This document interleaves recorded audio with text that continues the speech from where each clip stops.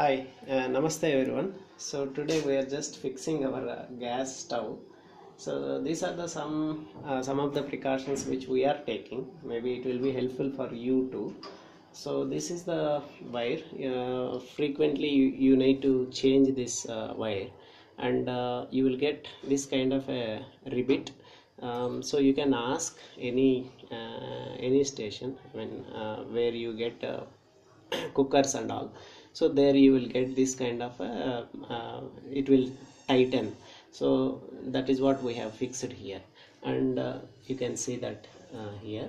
So and uh, what we have done is so whenever you are uh, pushing this um, mm, um, tube so you apply little bit oil uh, you apply little bit oil. You just take one drop of uh, oil and uh, apply on top of the metal. Then use the uh, um, then push the tube. So that is what i am going to do right now. So i'm going to fix that for the regulator. So first what you need to do is uh, you just need to uh, i'm planning to put this uh, uh, tightening uh, one also. So i'll push that so for the regulator so you just need to apply uh, apply oil on top of the uh, this one okay? So i'm applying the oil okay? Just put uh, only one drop okay? So inside the this one also i have applied.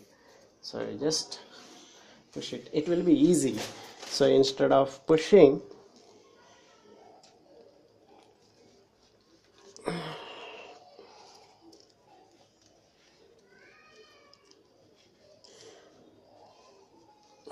now you can see it is almost gone. So and one more thing um, one more thing. So we just cut this pipe okay? So we, we so we initially we use the hacksaw blade so we could not able to cut this uh, uh, tube because it will have the mesh wire uh, mesh. So strings will be there. So it will not so i cut that um, by using this mm, blade and by using this uh, machine.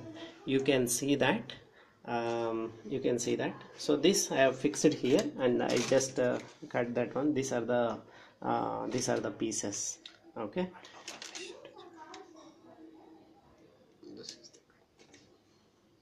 yeah thanks for watching. Hope for a safety um, yeah so you can keep those uh, uh, holes. So otherwise you can put the hole in the granite also. So those are the things uh, which we have done. Uh, thank you for watching this video. Yeah thank you. Bye